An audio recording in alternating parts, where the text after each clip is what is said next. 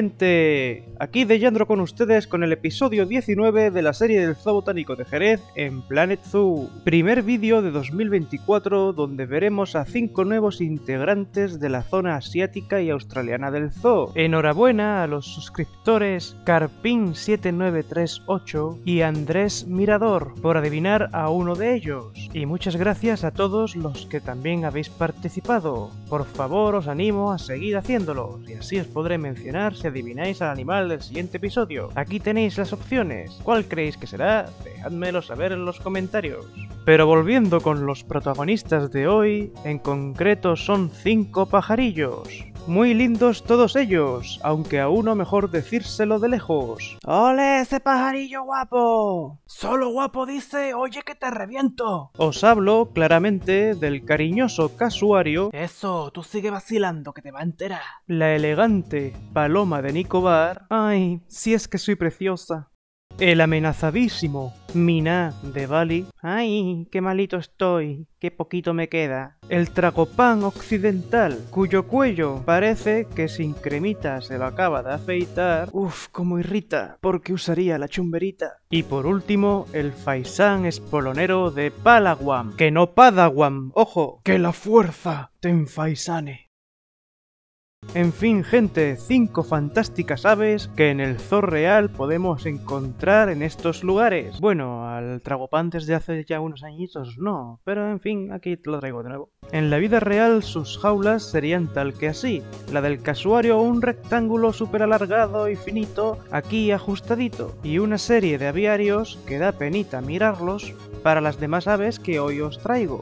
En fin, unas jaulas muy sosas que sin duda alguna hay que mejorar. Y para eso estamos hoy. Así que venga, veámoslas.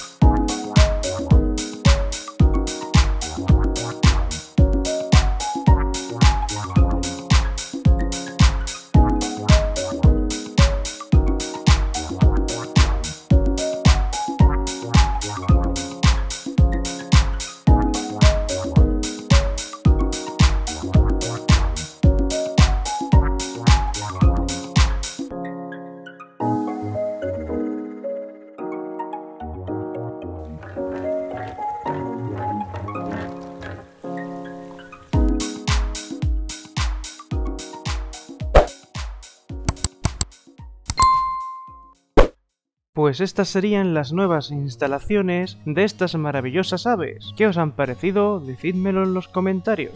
Pues bien, si continuamos la ruta, tras pasar al panda rojo y al macaco cangrejero, lo primero que tendríamos a mano derecha serían los dos nuevos aviarios de las aves asiáticas, en concreto el del miná de Bali y el tragopán occidental, y el de la paloma de Nicobar y el faisán espolonero de Palawan aviarios a los que se accede a través de una puerta triple que he hecho así para optimizar el espacio y que a su vez dentro cuenta con una puerta corredera que los divide pero que permite unirlos si así se desea, convirtiendo así ambos aviarios en un único aviario mucho más grande. Sin embargo, como ahora mismo tenemos a dos especies de faisanes, para que estos no se peleen, mejor tenerlos separados, y por ello he puesto este brezo aquí que oculta la visión de ambos lados y que así no les dé a ambos por liarse a palos. Y en cuanto a la decoración, he intensificado bastante más la cantidad de vegetación, usando otra vez los ficus de la especie Ficus benjamina y los helechos Boston Nephrolepis exaltata, junto a unas hayas juveniles Fagus varias herbáceas y hojas secas que tapicen el suelo, y la escebola por fuera, tal y como la usé con el panda rojo como sustituto del azahar de China, Pittosporum tobira, para así mantener cierta continuidad con el decorado de esta zona del zoo, al mismo tiempo que le doy un aspecto más boscoso a estos dos aviarios, especialmente idóneos si consideramos que son aves que viven en bosques, selvas y terrenos arbolados y sobre todo si los comparamos con sus aviarios originales. Además, también he añadido varios palos, ramas y maderas para que se puedan posar, así como un gran tronco hueco y unas cajas nido colgantes donde pueden dormir y anidar y varios comederos dispares para que puedan comer todos sin pelear y una caseta en el suelo donde se pueden resguardar. Esto último apoyado por las láminas de aluminio corrugado que cubren parcialmente el techo del aviario y todo lo de dentro rodeando una charca artificial donde pueden beber agua y bañarse. En fin, a mi parecer, unas mejoras bastante sustanciales que eran muy necesarias para estos pobres animales. ¿No os lo parece? Dejádmelo saber en los comentarios. Pero la cosa no termina aquí, gente. Si seguimos avanzando por la ruta, a mano izquierda nos encontramos con la instalación del casuario, la cual está dividida en cuatro recintos. Dos donde el animal viviría, en concreto uno para el macho y el otro para la hembra, que cuentan con laguna, comedero, enriquecimientos, zonas de encame y un refugio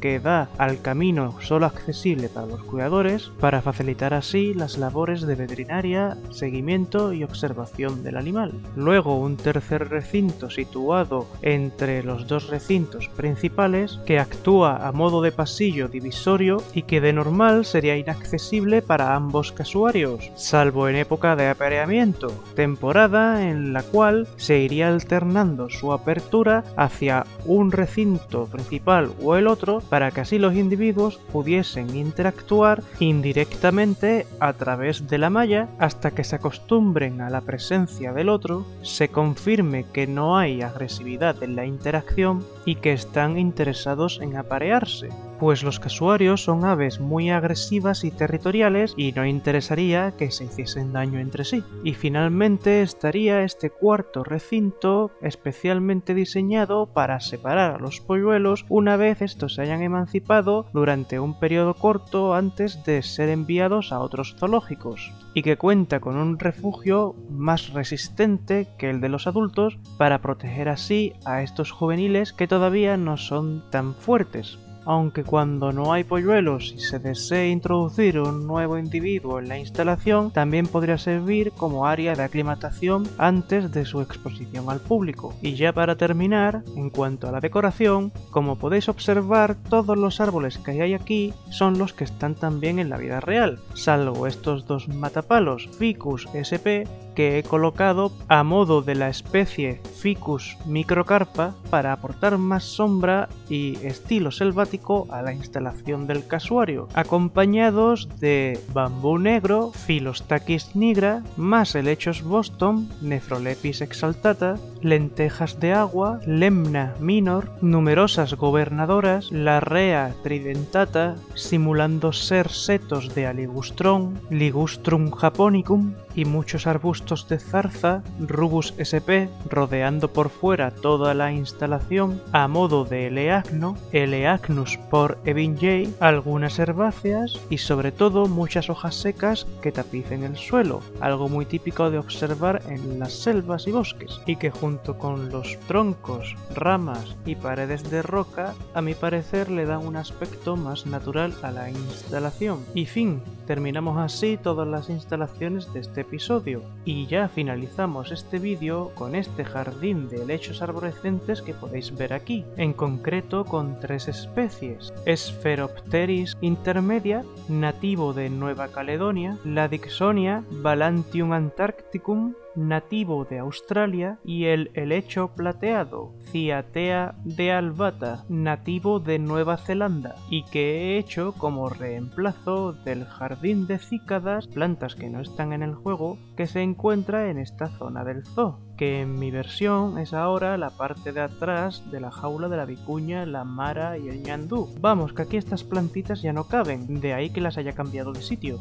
En fin, gente, esto sería ya todo por hoy. Espero que os haya gustado mucho el episodio. Ya sabéis, demostrádmelo dándole al like, suscribiéndoos, apretando la campanita, comentando y compartiendo el vídeo. Muchas gracias a todos, nos vemos en el próximo episodio. ¡Hasta pronto!